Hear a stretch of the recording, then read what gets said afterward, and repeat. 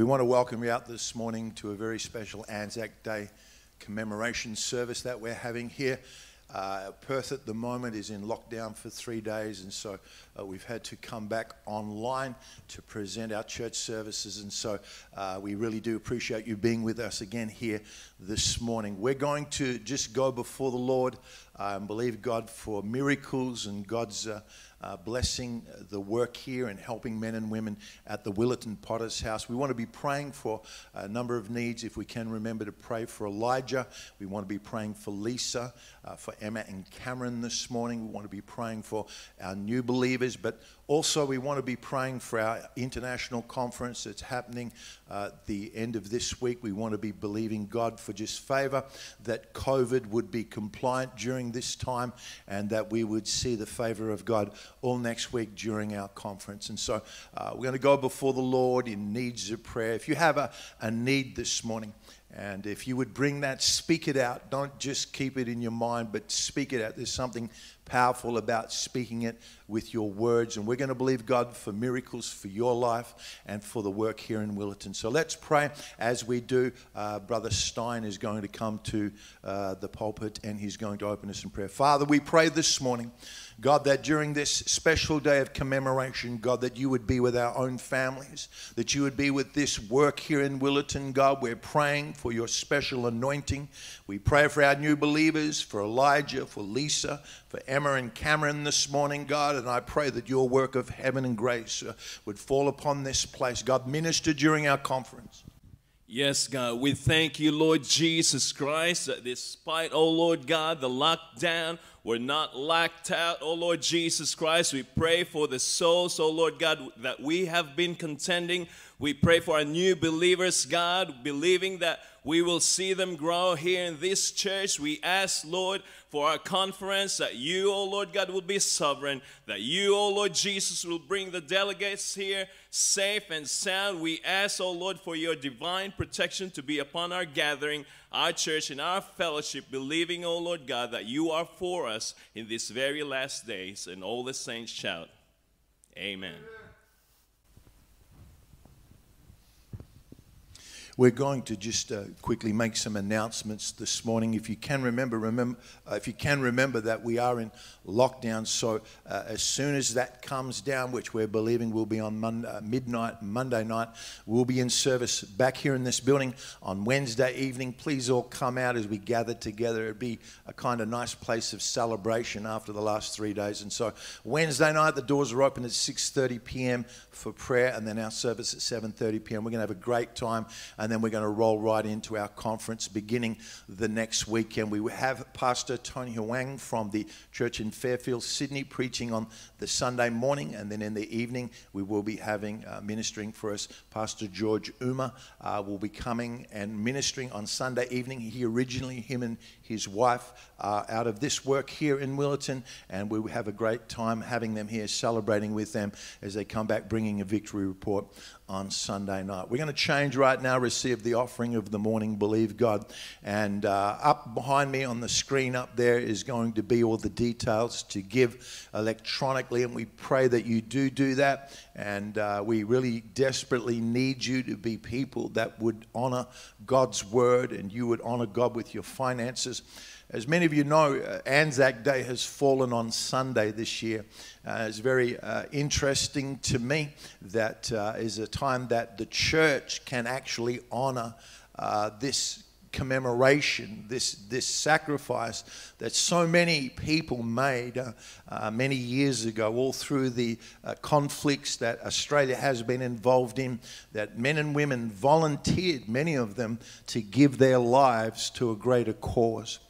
There's a scripture in the Bible in 1 Corinthians 9 7 that says, Whoever goes to war at his own expense, who plants a vineyard and does not eat of its fruit, or who tends a flock and does not drink of the milk of the flock. If you do a, a little bit of history or a bit of study about Anzac Day, many of the men that responded in 1915 they did it more so because of a financial gain in their lives. Uh, Australia at the time was very depressed in the economy. There was not much work around. And many of them found out they could make six shillings a day. Uh, in our slang language, we call it Six Bob, and they were affectionately uh, nicknamed the Six Bob Tourists because they volunteered to go and, uh, and give their lives in the, in the beaches of Gallipoli, and, uh, but they were given that affectionate term. Uh, but what's interesting is most of them volunteered they volunteered and knew that they were also going to receive a very basic wage. Uh, six shillings a day wasn't very much.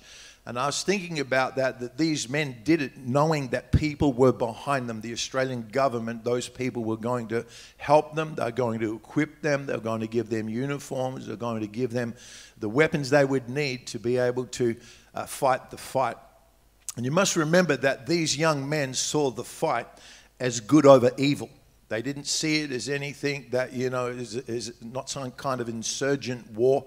They saw it as fighting evil and they embraced it with a, a righteous attitude to be able to go into that conflict. We here this morning are also involved in a war, and we also believe this morning that our fight is a fight of good over evil. And if we are to do that properly, we're going to need people to understand that if we're going to fight, it's going to cost not just equipment and men, it's going to cost money. And I asked this morning that if you recognize the spiritual warfare that we've been in and that we are in, that you would give to the cause or you would give to the battle. And with your tithes, your offerings, no matter who you are, what you are, we, we really are all in this together. And I encourage you this morning to give in the offering, respond in liberality and generosity. And uh, let's, uh, let's do that this morning. We're going to pray. Father, I thank you for the privilege of being in this building.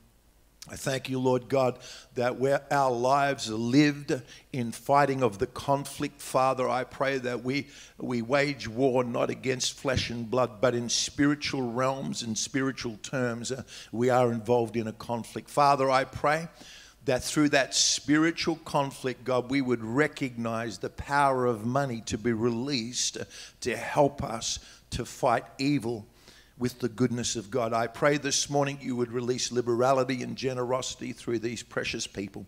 Help us as a church, God, uh, to wage war against the enemy. In Jesus' name we pray. And everyone said, Amen. It's a great privilege this morning. We have a guest speaker, and uh, Pastor Bruce Callahan uh, originally grew up on the east coast of America, but as a young man saw opportunity to come to Australia as a, uh, as a teacher. They were advertising in the newspapers in the United States for uh, people to come to Australia. And I'm sure he didn't really know what he was getting into when he came and took a position in a little country town called Geraldton. And uh, he, no doubt, not more than just coming to experience Australia, he experienced a radical transformation of Jesus Christ coming into his life. And uh, he's going to come and minister this morning on his perspective as someone maybe from another nation seeing how Australia responds. Uh, and the whole, uh, the whole thing of Anzac Day is a mystery to many people outside of our nation.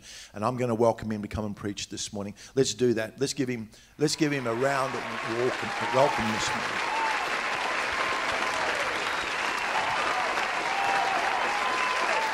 Pastor. Praise God. I count it a real privilege to be here and an honor because basically I'm a very profane man. And I say that because the word profanity is not just swear words, it's a person who takes something that is sacred and treats it as common. And for me, I, I grew up on the East Coast, a very radical, rebellious little fellow, and ultimately came to Australia. And what I found was a bunch of little radical, rebellious little fellows. And when I came to Jesus, I found a reason for my rebellion, that I could rebel against the evil that I was pro- propagating, and I could really begin to live uh, for Jesus Christ. And there's some things that I'm going to be speaking about this morning that I'm sure Australians don't even know, and uh, I certainly didn't know. I became an Australian citizen in 1994 and that made me a dual citizen with two passports. And ever since I was 19 years old, I really did want to come uh, to Australia. And I don't know what it was. Something was drawing me here. I believe that was God now. I didn't know it then. I didn't know who God was. I knew about him, but I didn't know him. I wound up marrying a wonderful Australian woman that has kept me saved as long as uh, she's been with me, and she's been a great blessing to my life. And every time when we were in America, or even when, when we were in Australia here, we went back to America. I was here for 20 years, went back to America, just have returned back here. We would uh, celebrate the Australian holidays.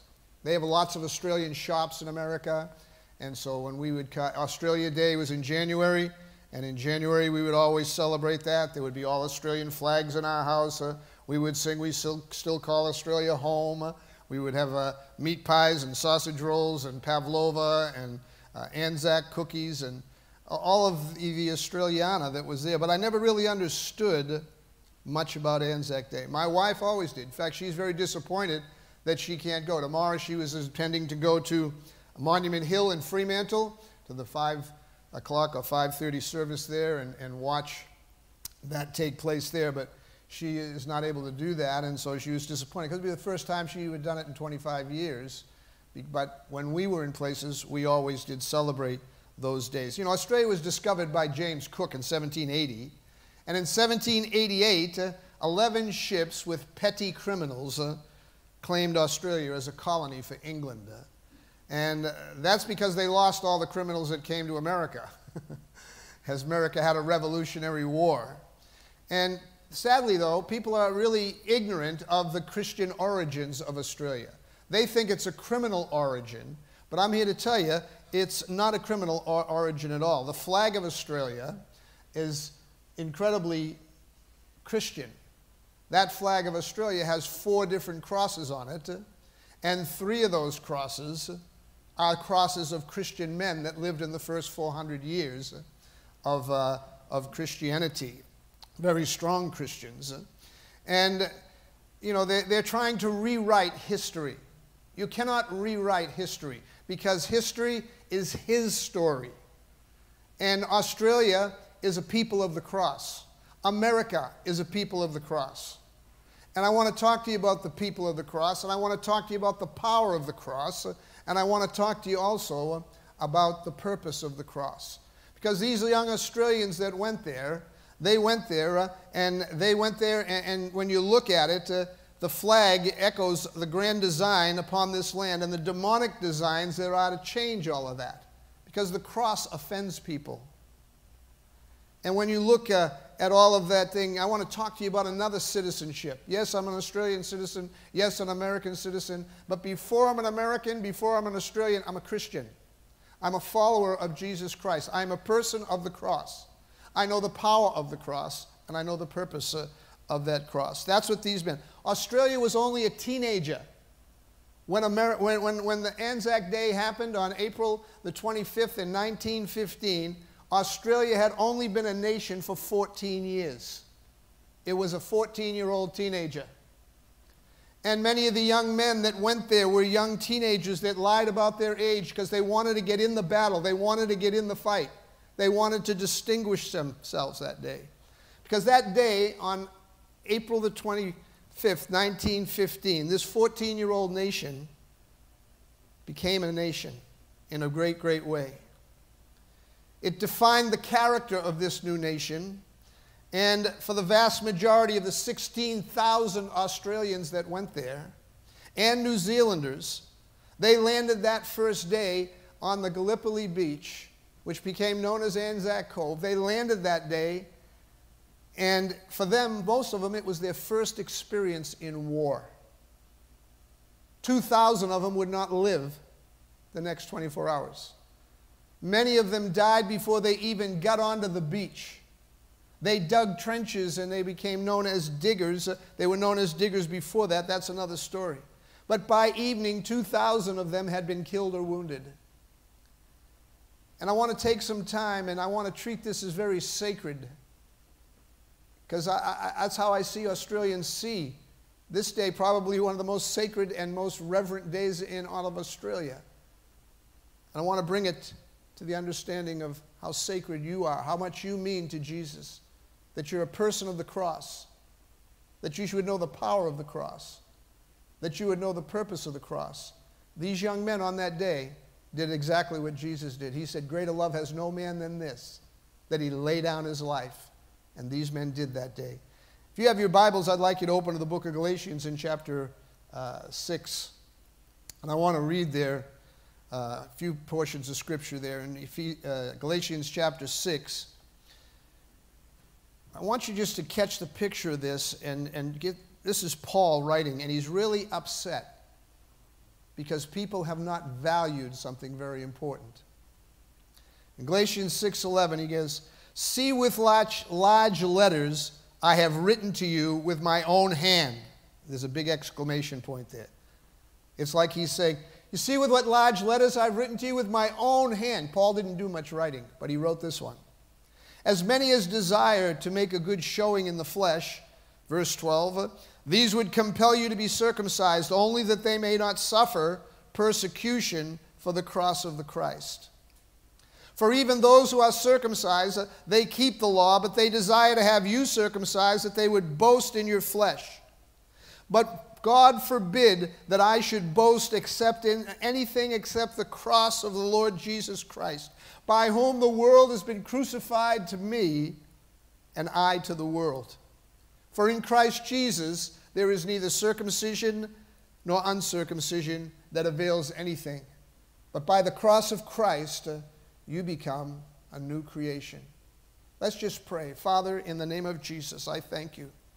Father, I thank you that you brought me to this nation, God, that you'd made me a citizen of this nation.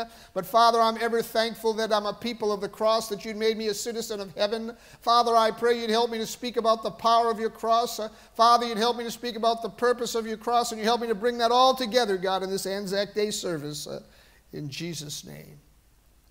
So I want you to think, first of all, with me about the cross uh, of Jesus Christ. It goes way beyond our flesh. It went way beyond the flesh of those young diggers that day as they went in, man. They went in, they went up over the trenches, uh, and they went uh, and they gave their lives for something that they believed in.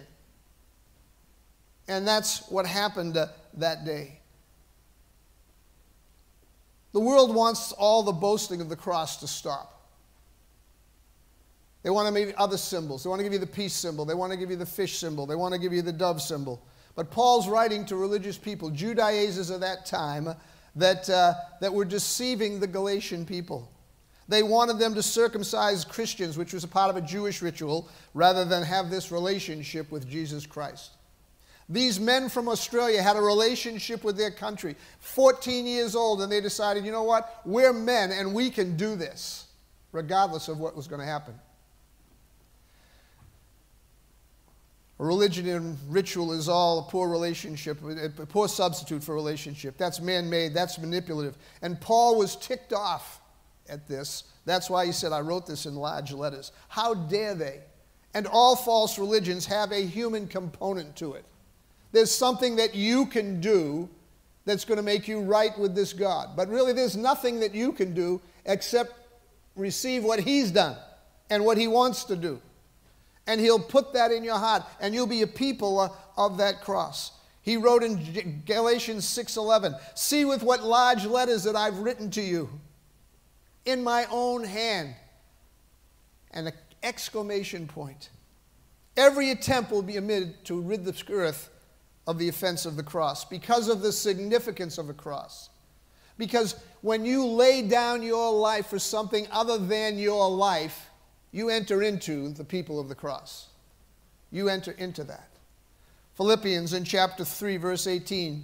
For many walk, whom I've often told you, and I tell you now, even weeping, they are enemies of the cross of Christ, whose end is destruction, whose God is their belly, whose glory is in their shame, and they set their mind on earthly things. Listen, if you don't haven't realized it already, when you set your mind on earthly things, you make yourself an enemy of the cross and you really mess up your head because the earthly things are always changing. Peter would there, and Peter would have a great revelation, and in a moment of time he lost it like that. And Jesus said to him, Get behind me, Satan, in Matthew 16, 23. He turned to Peter, Get behind me, Satan. You are an offense to me. You are not mindful of the things of God, but you are mindful of the things of men. Let me tell you, when you're mindful of the things of men more than you're mindful of the things of God, you become an enemy of the cross. Because the cross is all about sacrifice. And we're great for sacrifice as long as people are sacrificing for me. But those teenagers, those young men, those young Australians and New Zealanders that went up over that thing, they were sacrificing their life for this country. And we're here today because they were there yesterday. People were accusing Paul of preaching one thing and doing another thing. But Paul says, you know, there's nothing but the cross. There's nothing but this sacrifice that I see that makes the difference. He said in Galatians 5:11, "And I, brethren, if I still preach circumcision, why do I still suffer persecution? Then the offense of the cross has ceased." The Message Bible says in verse 12, why do these agitators, obsessive as they are about circumcision, they go all the way and just castrate themselves? It's absolutely clear that God has called you to a free life. Listen to these words. He's called you to a free life. Just make sure you don't use your freedom for whatever you want to do, which destroys your freedom. Rather, use your freedom to serve one another in love because that's how freedom grows. That's what happened on that day, April 25th. Men gave their lives so that you and I could have the freedom we have today. Verse 14 goes on to say, For everything we know about God's word is summed up in a single sentence love others as you love yourself. That is the true act of freedom. If you bite and if you ravage, if you do all of those things, if you bite and ravage each other, watch out. In no time, you'll be annihilating each other. And where will your precious freedom be then? My counsel is this listen to this counsel live freely, animated, motivated by being a people of the cross, God's Spirit, and you won't feed the compulsions of your selfish flesh. The devil's strategy has always been and will always be bondage disguised as freedom. Real freedom is only found at the cross. Real freedom is only found when you go up out of the trench uh, and you don't care what's going on in front of you, man. You got a purpose in life because uh, you're a person of the cross. Uh, you know the power of the cross and you know the purpose of the cross. Crosses have you know, an incredible rich heritage in this criminal colony called Australia. This flag here has four different crosses on it. And it just didn't come about. It wasn't a random thing. God's hand, God's fingerprints are all over Australia. God's fingerprints are all over uh, you and I. There are four crosses on that flag that go far beyond the flesh, uh, far beyond British heritage, far beyond that. It's a Christian heritage of that cross, that, that flag. The crosses that are there are Christian men, four, three Christian men. St. George, St. Andrew, and St. Patrick. These were all early Christians. These were real men, real Christians that lived in the first 400 years after Jesus died and rose again. And they were people of the cross. The fourth cross is even more interesting. The fourth cross is the Southern Cross. And the Southern Cross is the smallest of all the constellations, 88 constellations. The Southern Cross is the smallest, it's also the brightest. It's also only seen in the southern hemisphere since the Christian era. You used to be able to see it in the northern hemisphere, but you can't. I just found that pretty interesting. God has some designs down under. He has some designs down under here. The hand of God moving history behind the scenes. The enemies of the cross are always trying to erase its significance and erase its meaning and erase its power. The original Union Jack had nothing to do with England. The original Union Jack uh, was actually the cross of St. George. And I'm going to talk about him in a moment. It was simply a red cross on a white background. That was the original Union Jack and the cross of England. Because everything we're learning about ourselves is being rewritten and being regurgitated in another first way. In America, they just you know, all the riots, they're breaking down all the things. Columbus, they hated Christopher Columbus. Uh, but I want you to know when America was founded, uh, Christopher Columbus came because he thought he was on a mission from God. Nobody, I, nobody ever told me that. I watched them just try to tear down our history and rewrite our history. But let me just read something to you about that formation. All I've ever read or been taught about Columbus uh, said he discovered the New World by accident. Uh, and his trade route to the East Indies. You don't go to the East Indies when you go west to find America. It was a flat earth at that time. He had a horrible time getting, a, uh, no mention is ever made of his faith in Jesus, let alone he felt be given this a life mission directly by God. And the words of Christopher Columbus himself, I found them in a journal. Let me read them to you about why he came to America. They found in the obscure volume of journal, it says he had a great degree of difficulty. He writes, and he says these, these words, what he's written. It was the Lord who put it into my hand, mind. I could feel his hand upon me. The fact that I would be able to possible to sail here to the East Indies. All who heard my project rejected with laughter, ridiculing me, saying it was a flat earth. There was no question the inspiration for this came from the Holy Spirit because he comforted me with rays of marvelous inspiration from the Holy Scriptures. This is Christopher Columbus. This is what's tearing down. He says, I am a most unworthy sinner, but I've cried out to the Lord for grace and mercy, and they've covered me completely. I've found the sweetest consolation since I made it my whole purpose to enjoy his marvelous presence. The execution of the journey to Indies has been wonderful. I did not use and I did not make use of intelligence, mathematics, or maps. It is simply the fulfillment of what Isaiah the, uh, prophesied. No one, listen to these words, no one should fear to undertake any task in the name of our Savior. If it is just and if it is intention is purely for his holy service, the working out of all those things he's assigned to every person as it happens according to his sovereign will and he found uh, the United States of America. He landed there. And people would ultimately come later on and settle there. And when you look at that, you know, the first people that came to America, they came for God. But the second people that came to America, they came for gold in the form of fur pelts and tobacco. The first ones came to Massachusetts. The second ones came uh, unto Jamestown. And it's been God and gold, God and gold. But it's all been sacrifice. It's all been a people of the cross. So let's look at these three crosses of these men. Let's look who these men are.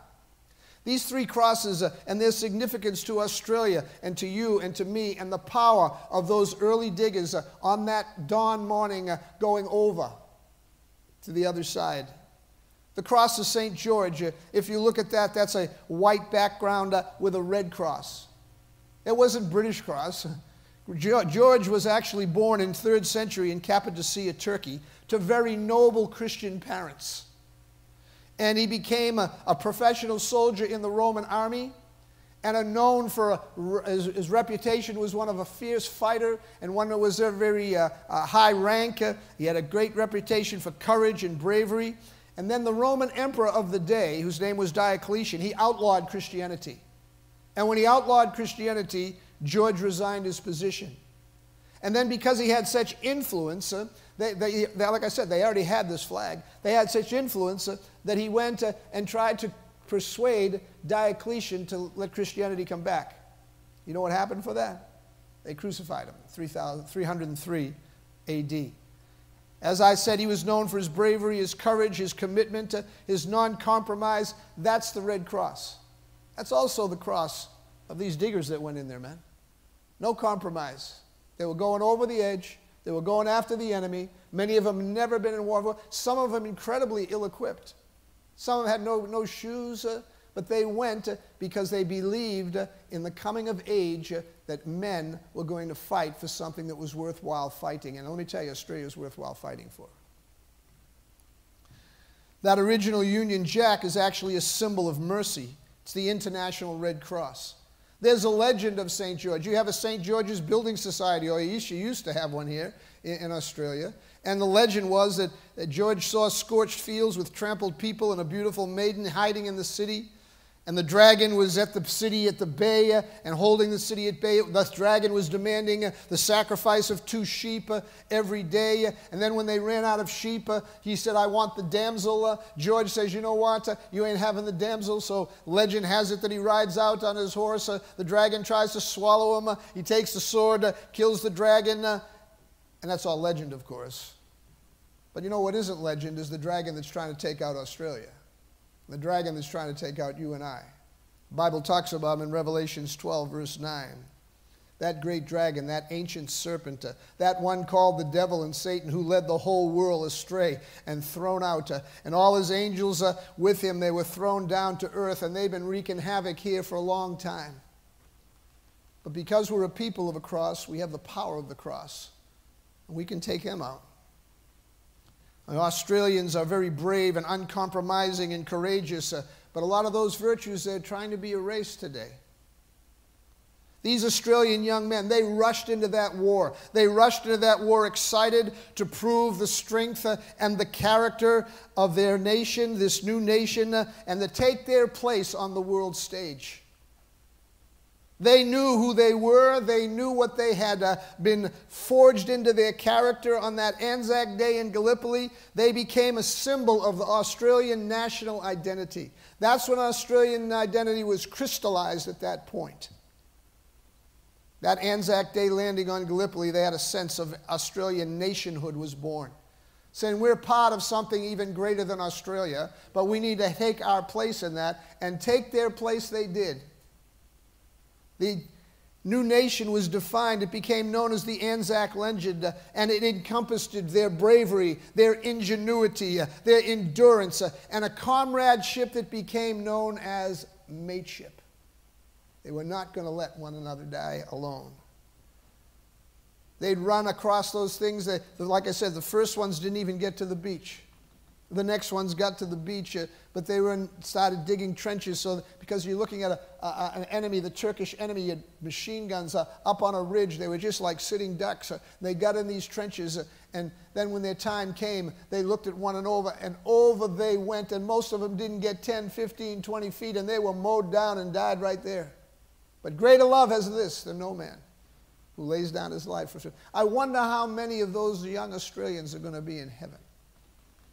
Because I think that's what the way God judges things. He doesn't judge by the flesh, He judges by the Spirit. And the spirit of those young men went up and over, regardless of the cost. The cross of St. Andrew is a white cross on a blue brick background. It has deep significance. Andrew was a fisherman from Galilee, he was Peter's brother.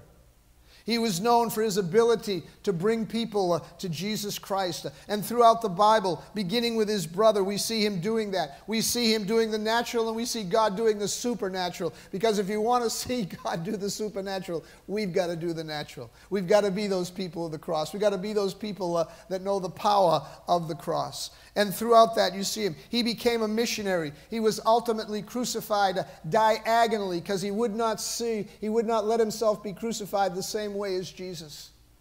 And he was crucified diagonally because he was not worthy of the cross of Jesus. He was crucified in uh, Patras, Greece. He became a patron saint of the Scotland and fishermen, and this became this is the national flag of Scotland, a white cross on blue background because of the boats. The third cross that you look at there is the cross of St. Patrick. It's a diagonal uh, red cross on a white background. Who was St. Patrick? Uh, St. Patrick became the patron saint of Ireland, but he was not from Ireland.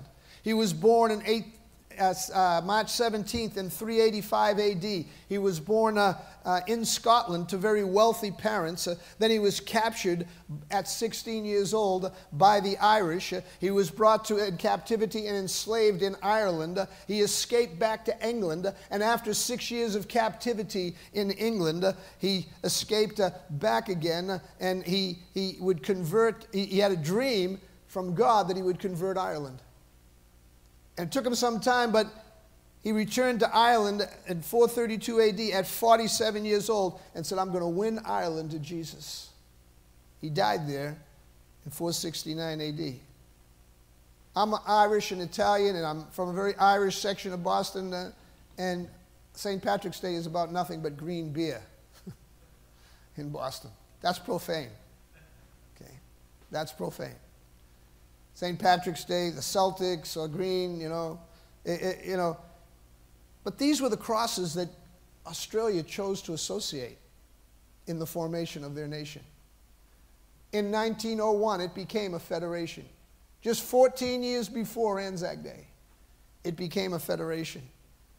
And These are the flags that they chose. They chose a blue background.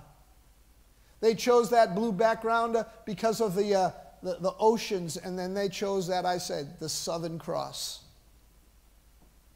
The first settlers to arrive in Australia were pioneers. They were explorers, they were adventurers. They arrived by sea, they were British, they were Scottish, they were Irish. And God called a people to that nation from all over the world. He's still calling people to that nation from all over the world. He's still calling people from all over the world. To where? To the most isolated city in the world. And then he decided, you know what, I'm going to reach the world from this most isolated city. And the smallest city in all of Australia. And that's what he's doing. He's bringing people to that. He called us here for his purposes. He's given us his power because we will be people of the cross. People that'll go out of the trenches. People that'll go in the face of all adversity. We're going to have a conference here in another week or so. And there's going to be people that'll go and people that'll send. And we need both. Uh, they have to both have the same kind of courage. They may be doing different things. But I'm here to tell you that's why we're here. We're the people of the cross. We've got the power of the cross cross, and we've got the purpose of the cross. That is to reach others. The world's drifting away from that, the enemies of the cross. Let me ask you this this morning on this Anzac Day morning. What's the enemy of your cross? Who's the enemy of your cross? What is the sacrifices that Jesus calls you to recognize and be involved in? Because we all have crosses. Every one of us, you know, our jobs are cross, our children are cross, our marriages are crosses. How do we handle those? How do we do it? Let me finish with the one final thing, and that's the purpose of the cross. Lest we forget. Boasting in the cross and its power and its purpose, its people. Never let it be erased. Never let it be wiped out of your mind. God brought you to this wonderful nation uh, for you and I that we might know Him. And then in knowing Him, making Him known to others. Never let it be wiped out or its significance or its symbol because it's the same, it's history. It's His story. You know, let me just read to you what a crucifixion is like from a medical point of view. This is a doctor's description of the crucifixion of the cross. The cross is placed in the ground, and the exhausted man is quickly thrown backward and his shoulders against the wood. The Roman soldiers are feeling for the depression in the front of his wrist. He drives a heavy uh, square wrought iron through the wrist and deep into the wood. Quickly moves to the other side, feels it again, and does the same thing. Being careful not to pull the arms too tightly, but to allow some flex and some movement. The left foot is placed on top of the right foot with both feet extending and the toes, toes going down. A nail's driven through the arch of each of those, leaving the knees flexed. And then the cross is lifted up and it's dropped into its place. And the weight of that man sinks down and it pulls, and fiery pain shoots up from his legs, from his feet, from his arms, from his legs, and they burn in his brain. They explode in the brain. The nails in the wrist are putting pressure on the median nerves. As he pushes himself out to avoid stretching downward, he places the full weight of nails on his feet.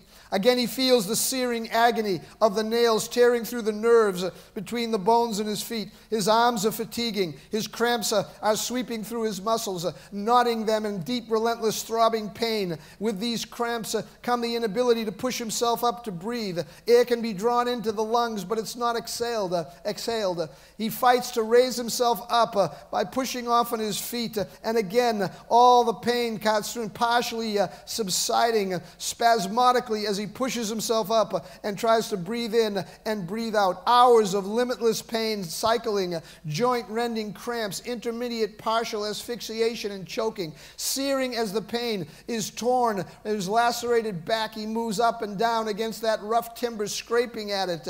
Then in agony, he begins deep crushing pain in the chest as the pericardium begins to fill up with blood and begins to compress the heart. It's almost loss of tissue in the fluid, and almost over because the loss of tissue fluid, it's reaching a critical level and it's compressing the heart. It's struggling to pump the heavy, thick, sluggish blood into the tissues and the tortured lungs of making frantic effort to and a gap to escape uh, the gulp of air. He feels the chill of the death creeping towards his tissue.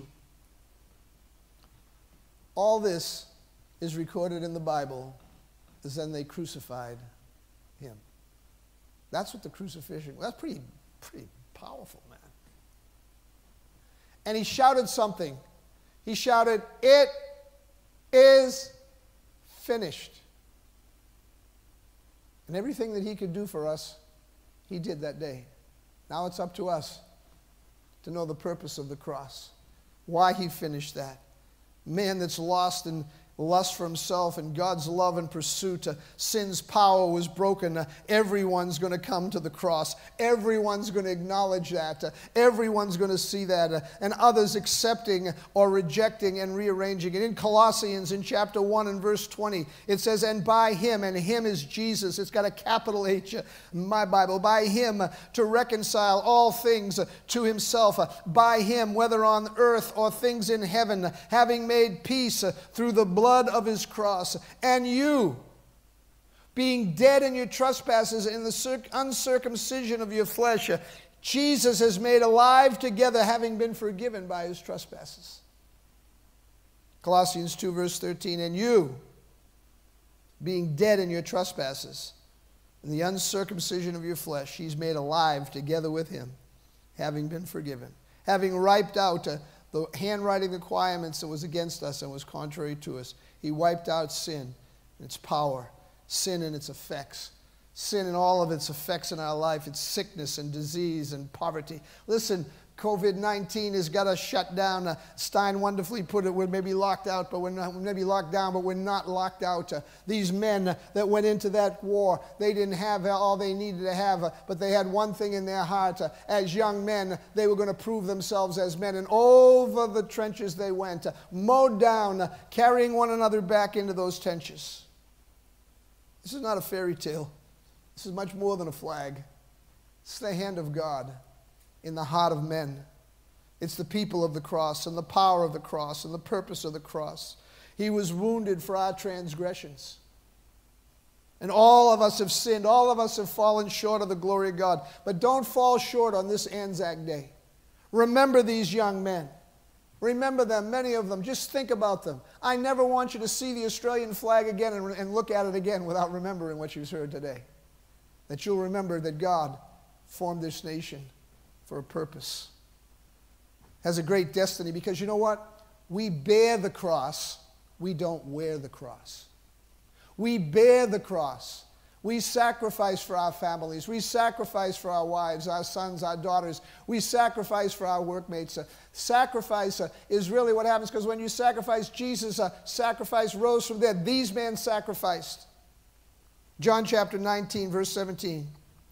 And Jesus bearing his cross he went out to a place called the place of the skull, which he in Hebrew is called Golgotha.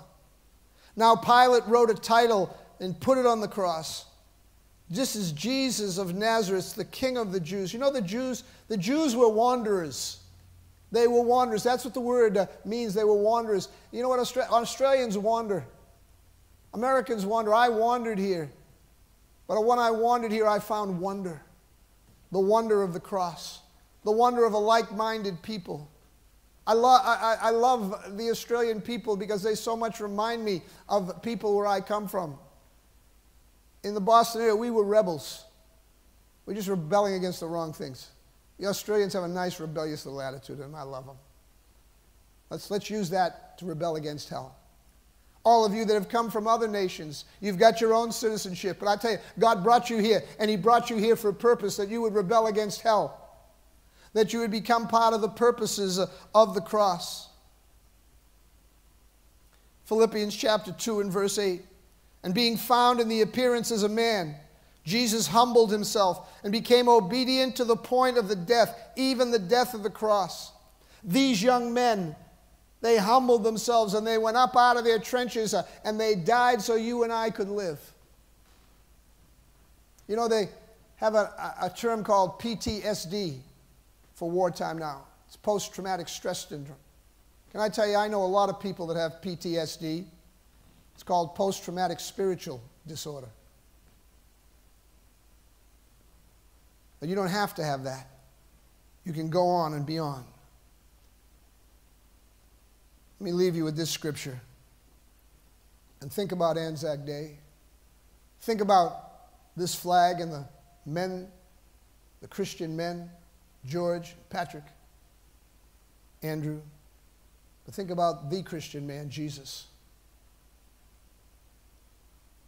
It says, Therefore, verse 1, chapter 12 of Hebrews, since we are surrounded by so great a cloud of witnesses, let us lay aside the sin so easily besets us and run the race with endurance, the race that is set before us, looking unto Jesus, the author and the finisher of our faith, who for the joy, who for the joy, who for the joy that was set before him endured the cross, despising the shame.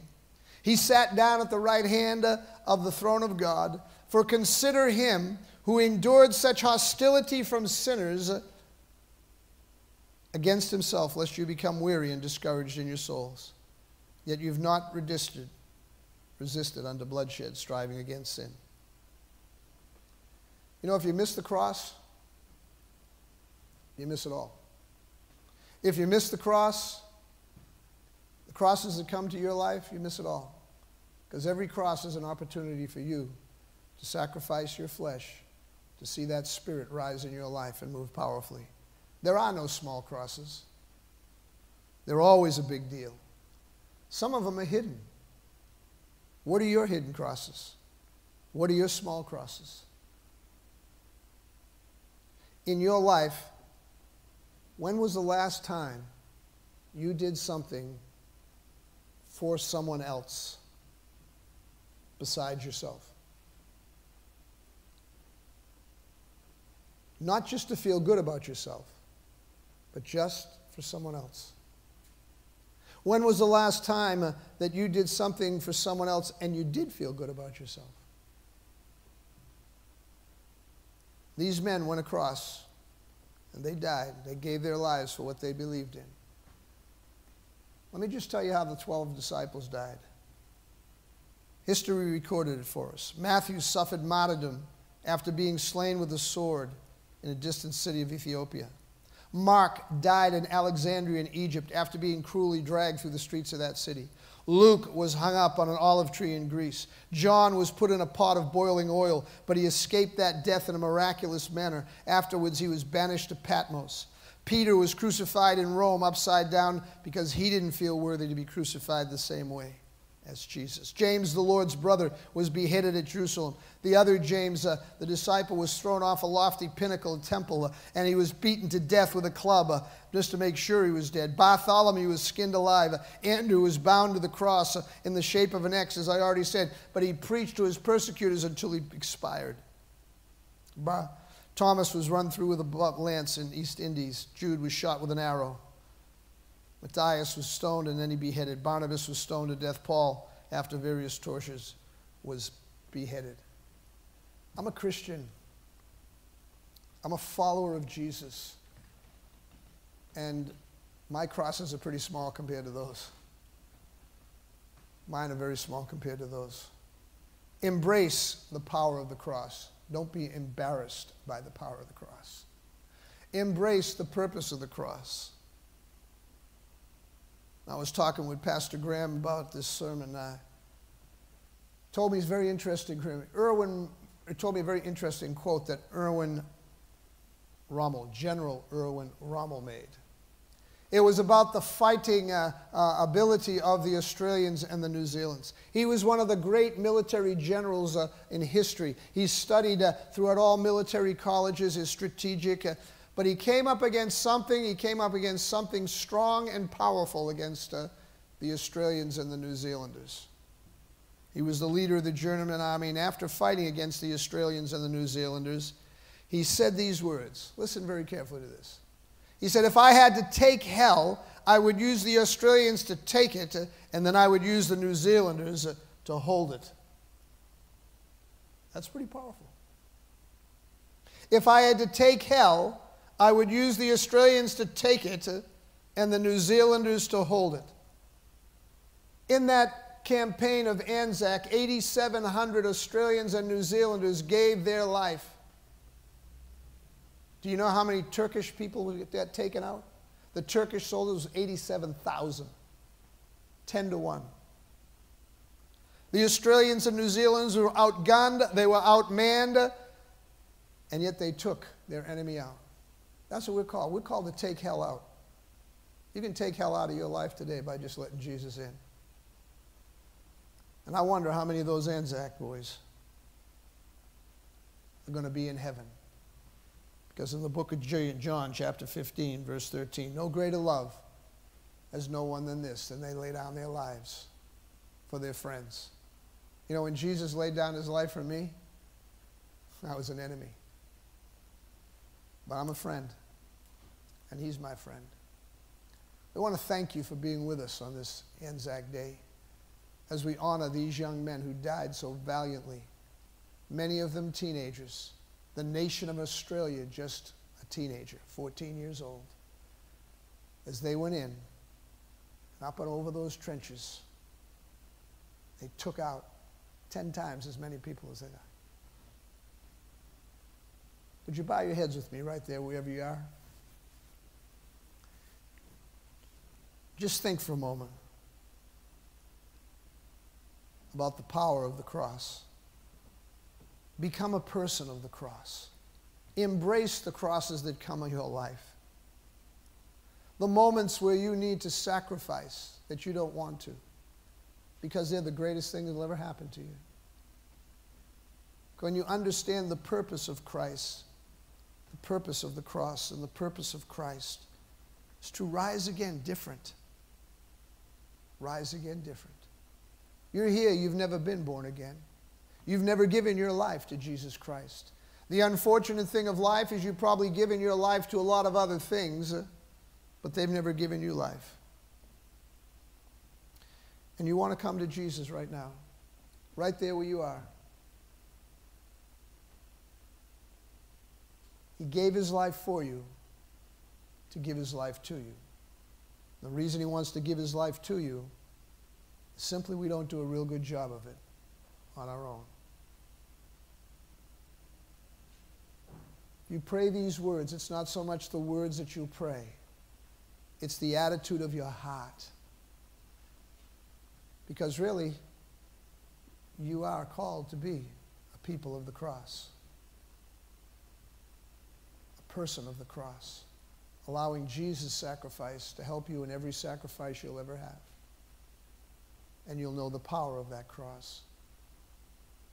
And you'll understand the purpose is that you'll change.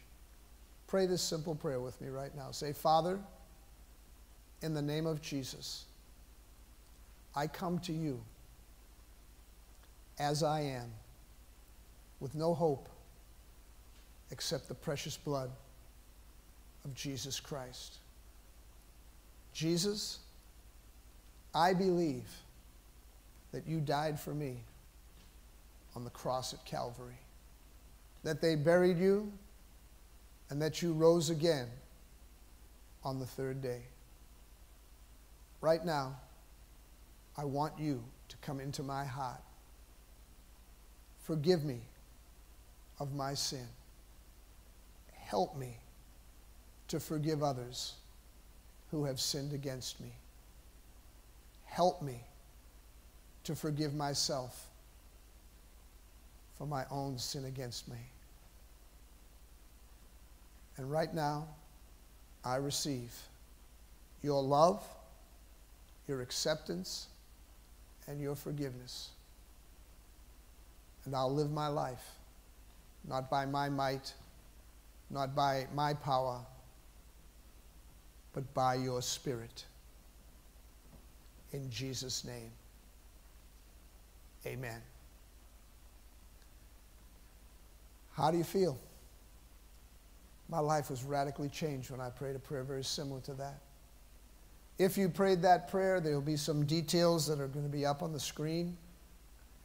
Links that you can know we want to know you, we want to help you, we want to see you. If you're a backslider and you prayed that prayer, We really do want to help you. We love you and we care about you because we're people of the cross here at the Potter's House, Willetton. We're a people that understand the power of the cross is to set people free. Same way as those Anzac boys went across the bridges, the trenches. We understand the purpose of the cross is that we can all be better than we ever thought we could be by the blood of Jesus. We have services here, and we will have services here. It's Wednesday night, as this COVID thing shuts it down. We'll be starting a conference uh, in Beechboro the following week on a Monday night. But more than anything, on this Anzac Day, remember what dying's all about. Because we're all dying. No one's getting out of here alive. we're all going to die. And remember these that willingly gave their lives to establish a nation and the character of a nation. Bold, unashamed, no nonsense. This is who we are, this is what we do.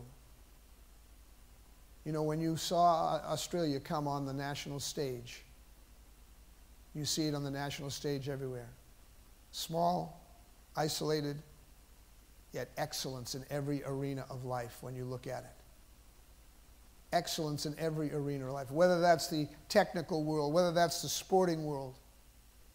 But all that excellence has a source, and that source is the people of the cross. That source is the power of the cross. That source is the purpose of the cross. We really do want to thank you for tuning in. We hope that you have a wonderful Anzac Day. Enjoy each other. Enjoy this beautiful country that God's given to us. Thank you.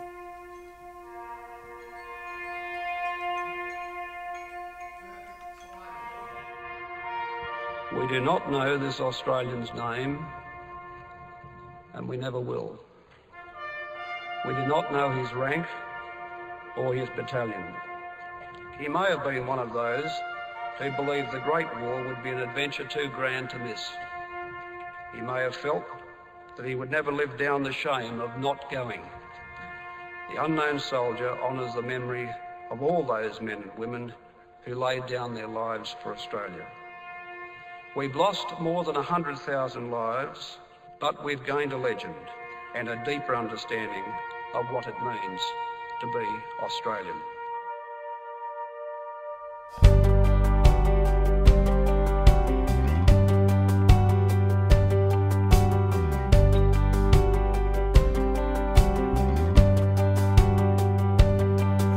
He's a drover drifting over western plains. He's a city lad, a clerk down Flinders Lane. They're in the trenches at Lone Pine and on the Flanders firing line. A willing band of ordinary men.